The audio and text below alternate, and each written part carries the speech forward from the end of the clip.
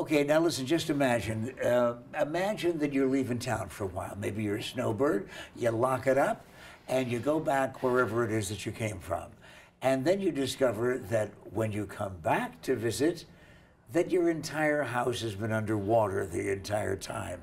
Yes, it can happen in the desert if you have water pipes going into your house anyway.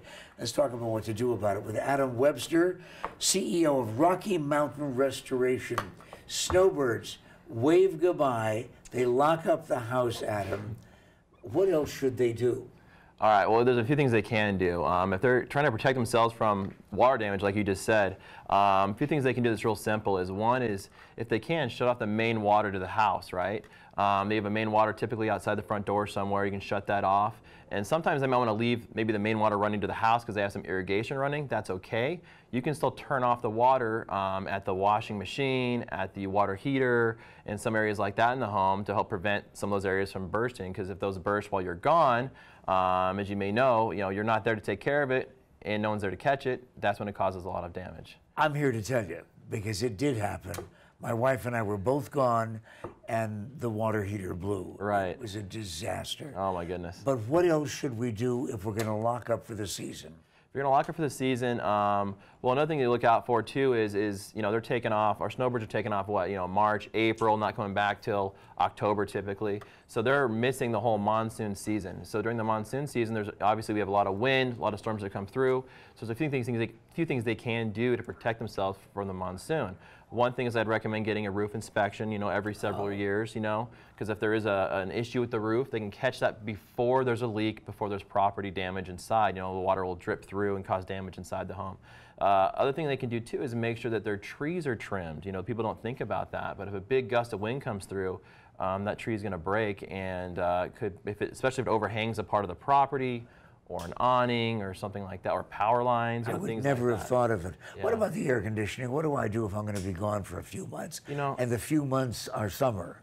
Right. So if you're going to be gone, I mean, there's a few different recommendations out there. You know, obviously some people like to just turn it off altogether, but also you might just turn it up to set it at a higher temperature, so that way it's not cooling the house. You obviously don't need your house at you know 78 degrees while you're not there, so you can turn it up maybe to the mid 80s or low 90s, maybe to help keep that bill down. Or you know, a lot of people just turn it off altogether if that's what they want to do. Security. Uh huh. What do we do about that?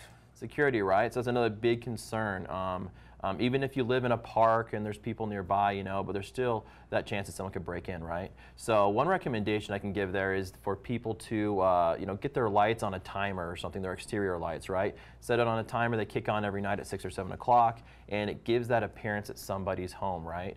Uh, and that's one thing they can do. The other thing I can recommend is that if they have someone that's there year round in the park or nearby uh, the house, is they can have them uh, come in and check on it, right? Periodically, like a caretaker or a friend in the area that has a key to the house. They can come in and check on things, kind of make sure things okay over there. But why um, would I call Rocky Mountain Restoration? Now, if you called Rocky Mountain Restoration, you're probably experiencing a water damage issue or a fire damage issue, something like a disaster that's kind of hit the inside of your home, right? Like you, like you expressed, you know, you have a water damage, pipe breaks, uh, water heater goes out, whatever it may be, right? Now you got a bunch of water inside the home. That's where our company, our you know, restoration companies would come into uh, extract that water, clean it up, and make any necessary repairs to the property, you know.